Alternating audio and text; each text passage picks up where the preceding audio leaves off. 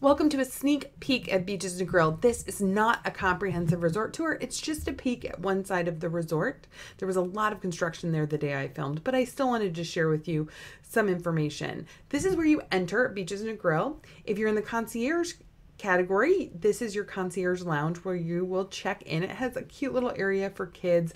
This is really a family focused resort. It's about an hour and a half from the Montego Bay Airport.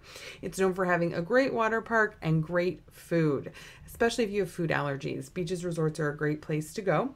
There's the main lounge area just off the lobby, and then there's Liquid by Beaches as well as Trench Town. Trench Town is the teen hangout, as you can see, and then Club Liquid is a teen club in the early evening, and then it turns into adults only later on at night. So it's kind of fun to have an air conditioned disco right on property.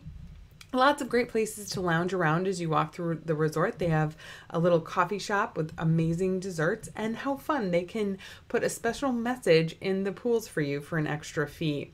There's several a la carte dining restaurants. You don't need reservations. Uh, there's a large beach with beach volleyball. One of my favorite places is the pizzeria you can see there. There in that open air palapa is where they have the Sesame Street character breakfasts on Monday and Thursday. And then here is one of the main sections all the way down to the left as you're looking to the beach. And this is a tropical beachfront oversized family concierge room. It sleeps up to five.